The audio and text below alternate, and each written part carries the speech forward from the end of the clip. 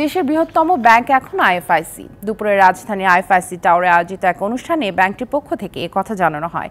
এ সময় বক্তারা বলেন, উন্নত প্রযুক্তি ও ব্যাংকিং সেবার মাধ্যমে দেশের বৃহত্তম ব্যাংকিং নেটওয়ার্ক গড়ে তুলেছে আইএফআইসি।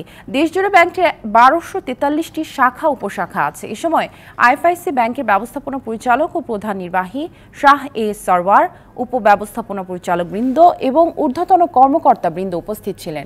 এজেন্ট নয়, বারোশো তেতাল্লিশটি শাখা উপশাখায় শাখক গ্রাহকদের সেবা প্রদান করেন আইএফআইসির নিজস্ব কর্মীরা।